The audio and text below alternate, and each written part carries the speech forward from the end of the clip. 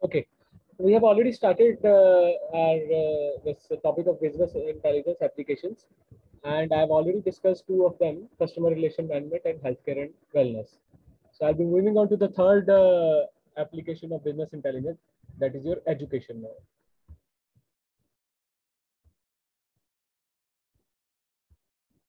Education. Everyone knows it that education plays a very important role in uh, uh, our society and uh, higher education of course is one through which uh, a person a student uh, he dreams of getting settled in life. So as the higher education becomes more expensive and competitive it is great user of database decision making so you know it that as a, the, uh, from so many years you are seeing that your higher education has become more expensive and of course it has become competitive also. Competitive like uh, uh, you can say that in some organizations you are able to if you study in those organizations you are able to get your placements and in others you don't even get any any kind of opportunity also to for your placements.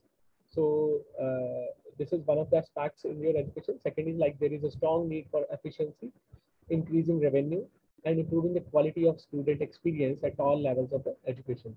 So when you study in an organization in an institute there the efficiency, then uh, increasing revenue for the, the, that organization, plus improving the quality of student experience at all levels. Like uh, in our college, also in our institute, also we are arranging different kind of uh, events for you people at uh, during our, your the semester study. So that is basically to increase your experience, to, uh, to, to improve the quality of your uh, experience in your college. Uh, and that really matters a lot. So what happens over here is now that uh, using your business intelligence uh, techniques, you are able to know about the students. So under it, we'll be studying now three points like uh, student enrollment, that is recruitment and retention. A very important aspect these days in uh, uh, this business intelligence is playing a very important role in this part. So marketing to new potential students requires the colleges to develop profiles of the students that are most like most likely to uh, opt for your higher education. So first of all, you need to know those students who really want to go for higher education, and then you need to uh, develop some uh, marketing techniques through which you can at least come to know that the potential students who want uh, to go for higher education, you can convert them into your yeah, you can uh, tell them that what you have better than the other colleges or institutes. Second important factor is course offerings. Course offerings because uh, if an institute is offering courses which are uh, uh, letting students to get their replacements done to settle in their life, so those course courses which are uh, uh, better or which are in demand these days, that really would be helpful in uh, increasing the revenue of a organization or institute and even as you have already even uh, studied before also that improving the quality of your student experience in that organization or institute.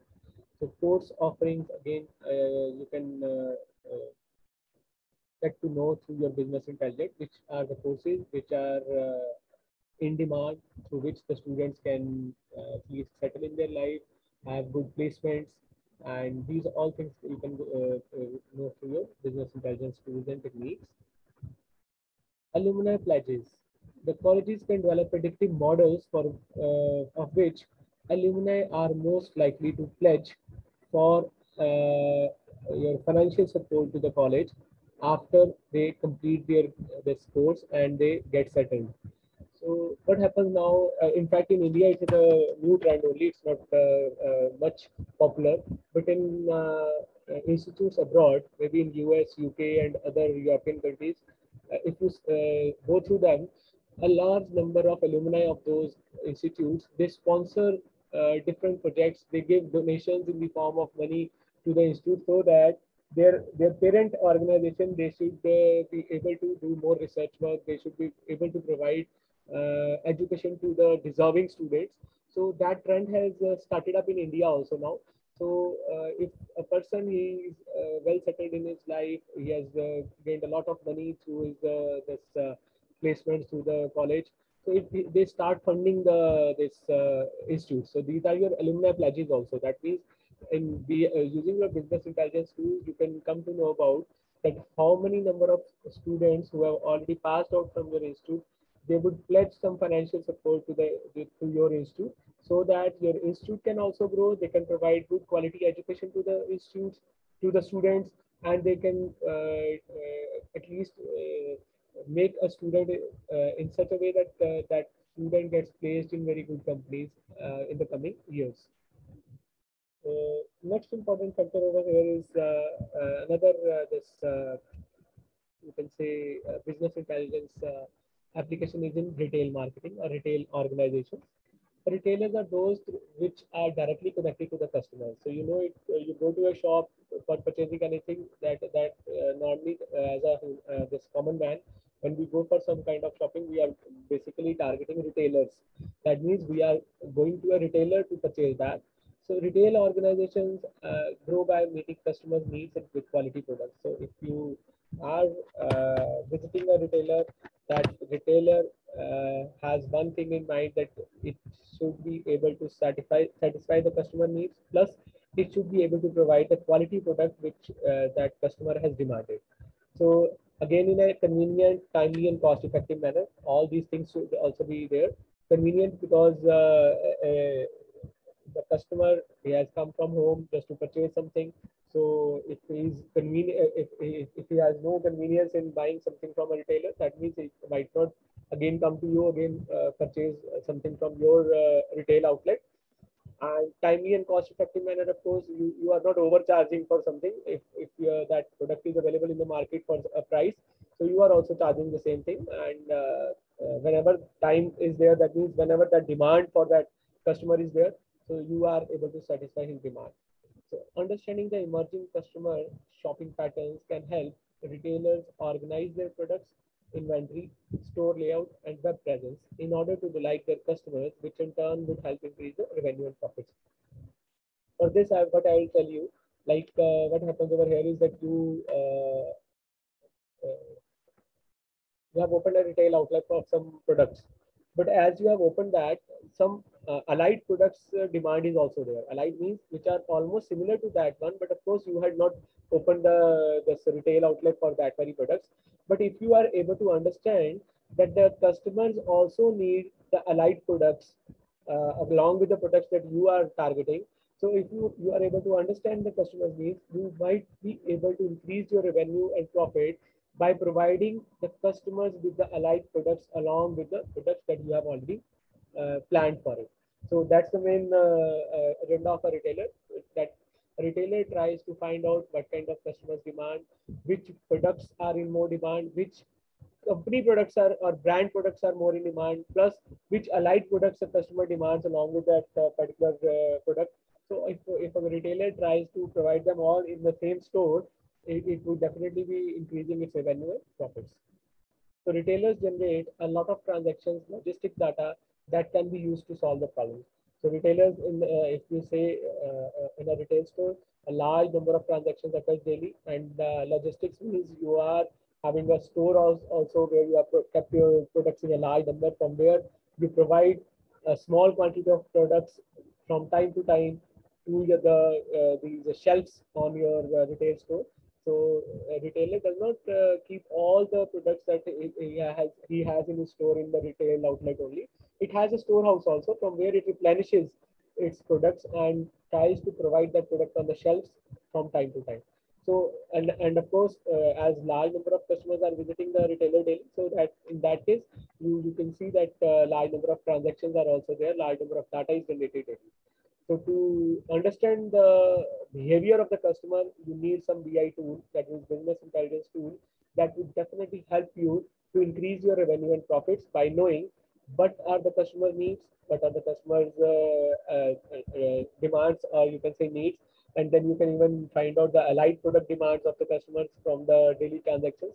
And plus, you can even know that in which this time period of the year, which kind of products are more in demand. So like you know that uh, the festival season is coming. So for different festivals, there are different kind of demands by the customers. So if a person uh, knows from the previous year data that the demand for the product starts in which uh, almost how much time before that festival. So the retailer can uh, at least uh, provide or start uh, planning for how to provide that kind of products to the customers.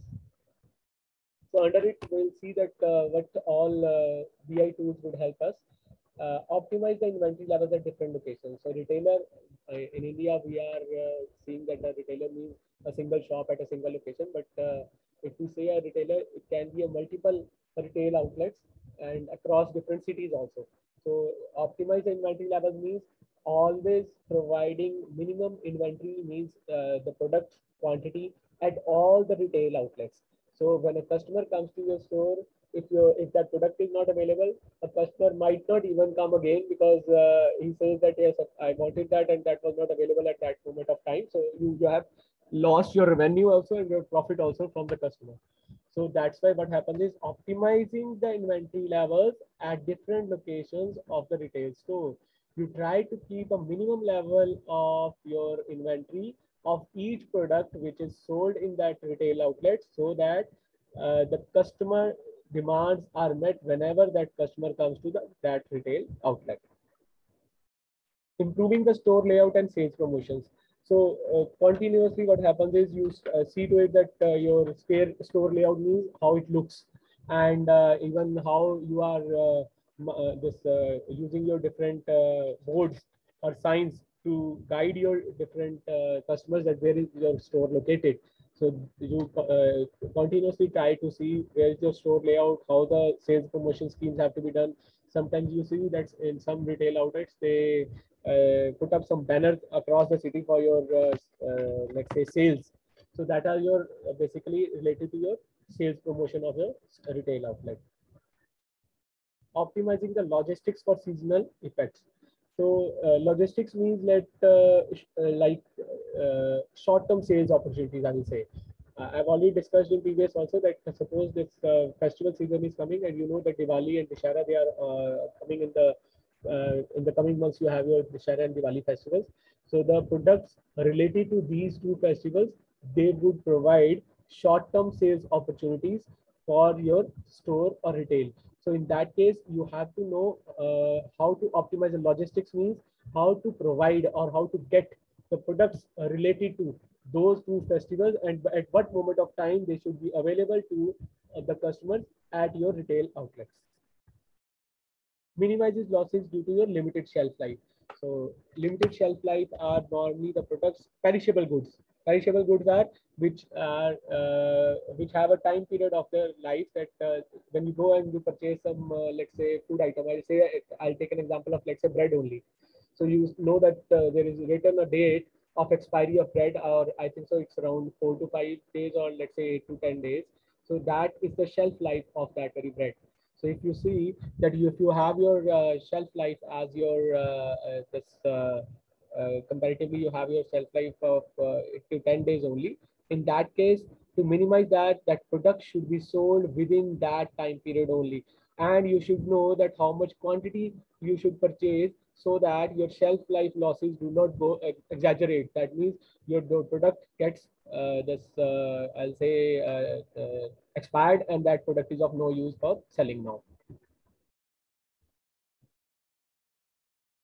Okay, now uh, another important BI application is in banking. So banking, you know that uh, it's an important uh, uh this uh, organization in a country through which uh, you can keep your deposits there. You can take loans for different activities like business and other purchases. So uh, banking industry, they also need some business intelligence tools to uh, increase their revenue and profits in terms of uh, your revenue only. So banks make loans and offer credit cards to millions of customers. Everyone knows it that loans are provided by banks. They provide your credit card uh, to millions of customers who uh, use them often for their purchases. So they are most interested in improving the quality of the loans and reducing the bad debts. So the, their main objective is to improve the quality of loans. That means they provide the loans to only those people who return the loan after taking the loans.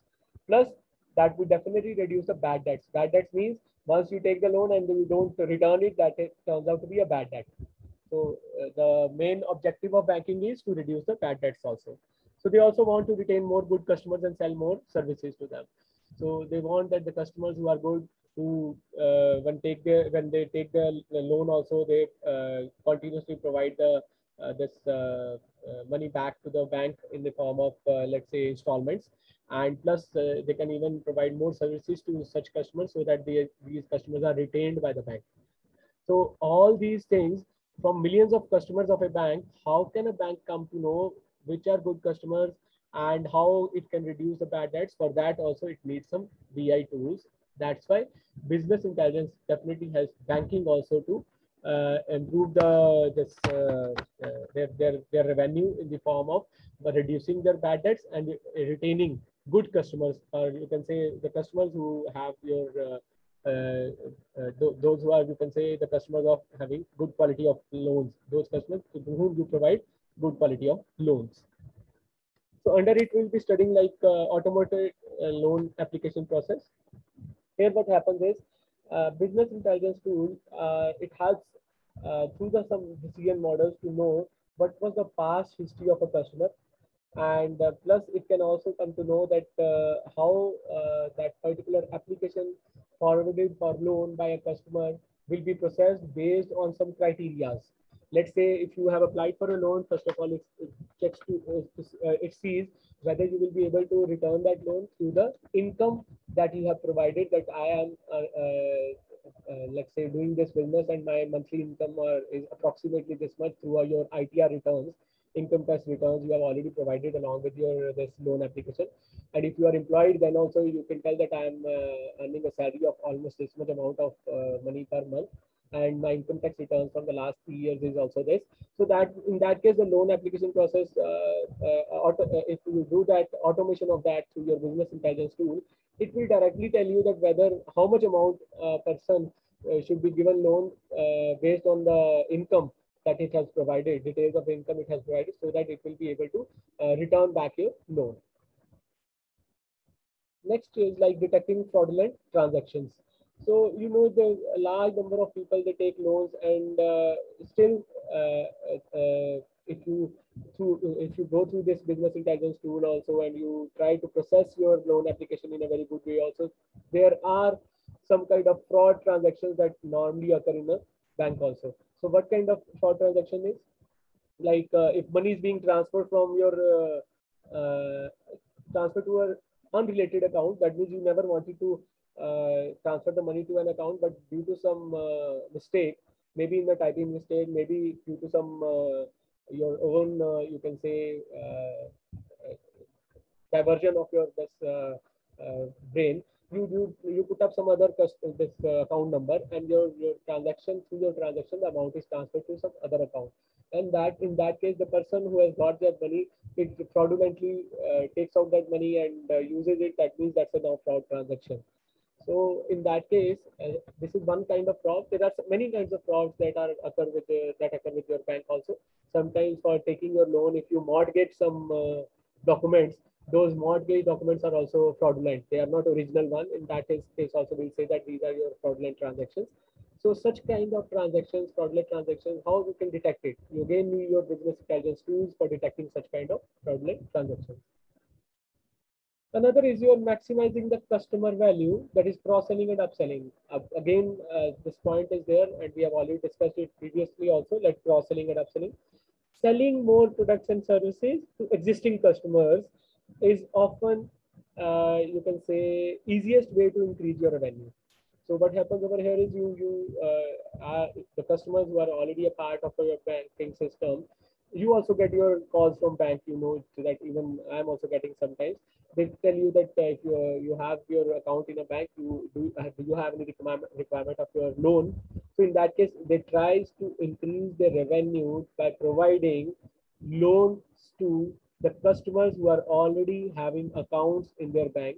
Plus, they also see to it that this customer uh, consistently has an income. They also see to it how transactions are being carried out in their this account. And then they make a slab that let's say around 2 lakh loan, 5 lakh loan can be easily provided to such a customer.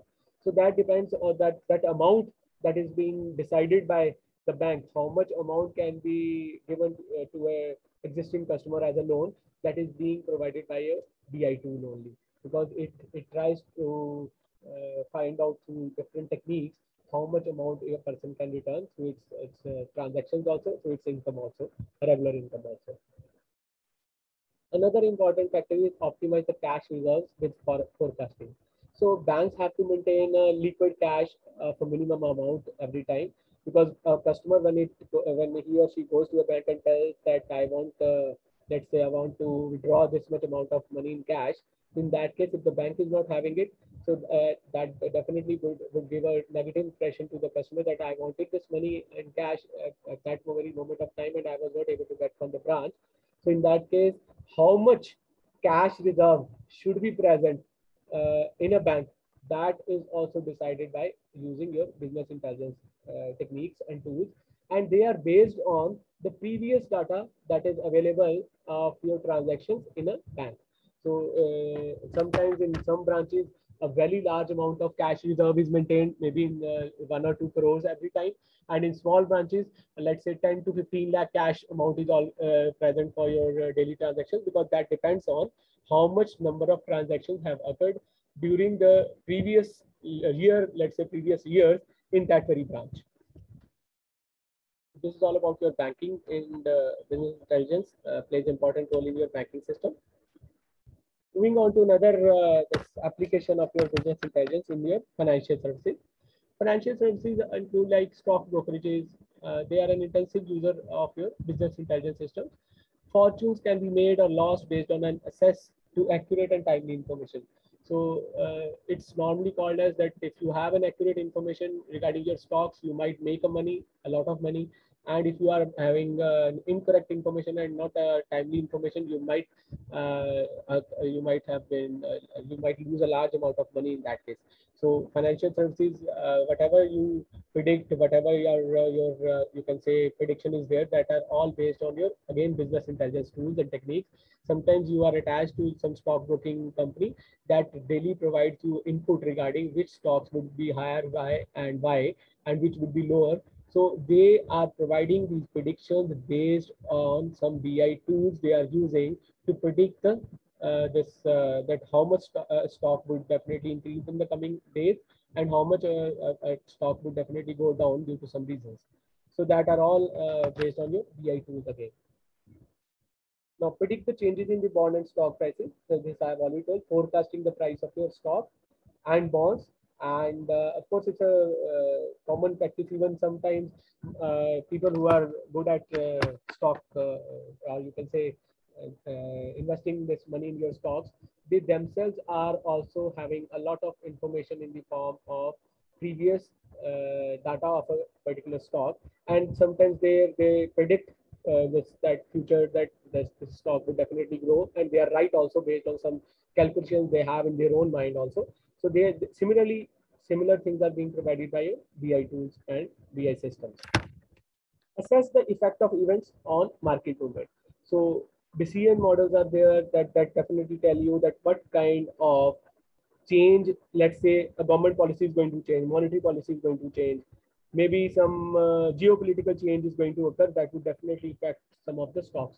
Let's take into example, let's uh, this uh, present situation of Afghanistan it's, it's, it might create uh, a problem for a large number of uh, companies that are directly connected with in one or the other way to Afghanistan. So uh, that's a geopolitical situation that has uh, uh, definitely predicted that will give a prediction that that now these stocks would not be having a much growth in the at least for few uh, let's say months or let's say few days till the time the situation normalizes. So these are the things that they definitely are being predicted by using some AI tools again. Identify and prevent fraudulent activities in trading. Again, in your this uh, trading also you have a large number of fraudulent uh, this uh, transactions. There are many people who fraudulently uh, try to uh, extract a large amount of money by giving wrong interpretations of your stocks and by even some other means also. So uh, again, uh, BI tools will definitely help you to prevent your uh, this uh, fraudulent activities in trading. Another important BI application is your insurance.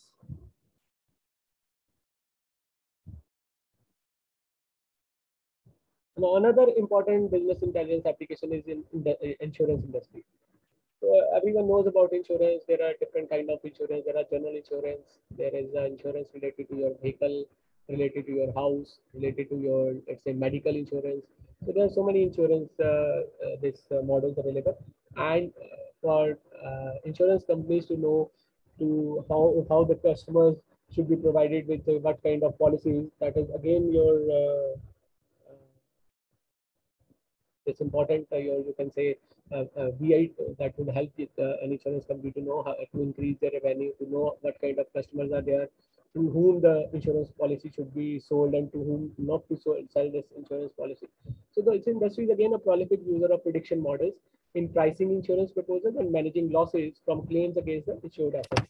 So it's again uh, just uh, very uh, uh, this you can say such kind of organization where where business intelligence is definitely playing a very important role in predicting what kind of pricing uh, should be there for insurance policy? And secondly uh, how to manage losses through claims against your insured assets. So you, if you continuously start getting a large number of claims for a particular policy so in that case that's a loss making policy. So you might have to change the these conditions, or you can say some rules for that very particular insurance policy. You may have to uh, even uh, stop that kind of policy to further uh, being sold by the insurance agents. So forecasting the claim cost for better business planning. So using your business intelligence tools and business intelligence uh, techniques, an insurance company definitely forecast how these uh, this, this insurance policy cost would be there in the coming days, how this uh, uh, business planning would be done for an insurance company. And they even help us to determine optimal rate plans. Optimal rate plans means how much amount of your premium should be decided for an insurance policy and how it has to be taken up during the uh, uh, sorry by by the customers and organizations another important is optimizing the marketing to specific customers so there can be a, a specific type of customers whom a particular policy is sold uh, more than the others because that they are the, those customers who, who are uh, where you get your more profits. Like if I say that your medical insurance in case of your uh, policy sold to younger people, they they are they are profitable business because younger people they normally do not have much ailments and they normally do not uh, get admitted to the hospitals for your medical insurance. So in that case, they are they are your those areas where the customers uh, are uh, more healthy and you are uh, having you are making more profit by getting premium every year. Then identifying and preventing your uh, this fraudulent claim activities. So even if uh, you so uh, sell your this insurance policy, there are some kind of false claims made by the these you can say customers for paying premium to an insurance company so how you are able to identify that these are your fraudulent ones, fraudulent claims, and how you are going to identify it. Uh, let's say uh, you have your insurance of your car, and uh, your car was absolutely okay, and you have uh, tried to uh, get a claim for some kind of accident. So you might have used some fraudulent means for showing that this uh, there was an accident in your car, and you want to have money for it. So in that case, to how to reduce it and how to know that this is a fraudulent kind of claim so that uh, for that you need some kind of business intelligence tools that will definitely help you to identify and prevent such kind of fraudulent claims. Another important factor is using uh, in your manufacturing. So manufacturing is manufacturing can be of anything, you know it. So manufacturing operations are complex systems with interrelated subsystems, and they are the systems are interrelated to each other. The product is being uh, you can say refined in one machine, and further it becomes an input for some other machine. So they are interrelated. So from machines working right to workers having the right skills to the right components arriving with the right quality at the right time to money to source the components many things have to go right. So you know it that this is all a part of the manufacturing organization only. You should know how the machines would be working right. That means in a good way. In uh, it should be able to refine that product in a very good way. How many number of workers are there who are having right skills to work on that machine? How many components are there that arrive at the right moment of time so that your quality of your product is very high? And how much money you need to source the components at every moment of time so these all things to put them in right order that for that you need to have again business intelligence. there is an example of Toyota. Toyota is famous lean manufacturing company works on just-in-time inventory systems to optimize the investments in the inventory and to improve the flexibility in their product mix. Just-in-time means whenever a component is needed, it arrives at that moment of time only. So Toyota works on this concept that whenever a product is needed, it is available for that particular manufacturing or you can say for alignment with the already manufactured products, it is available only just in time. It was going to be delivered to the final customer or you can say it was delivered to for some other processing. So they try to optimize the inventory by keeping minimum part of inventory and working on the just-in-time concept. So discovering novel patterns to improve the product quality. You try to find out some patterns where you are able to increase the quality of the product that you are manufacturing. That again, uh, BI tool would help you to know that. Again, predicting and preventing machinery failures. You can predict and you can prevent how the machine would fail in a particular circumstances, maybe due to some electricity part, maybe due to some external factors, maybe due to some uh, dust that uh, comes in that very uh, room or area, because uh, nowadays machinery, the machines are very sensitive. So you, you have to note it, that uh, uh, what kind of things are very harmful for the machinery. So you are able to predict using your BI tools also. Sometimes the quality of the uh, different products used in your this machine they are being uh, monitored by some other uh, uh, computer software that would definitely help you to uh, predict that that machine is going to be give you a failure in the coming let's say a day or two. So these are all things about your manufacturing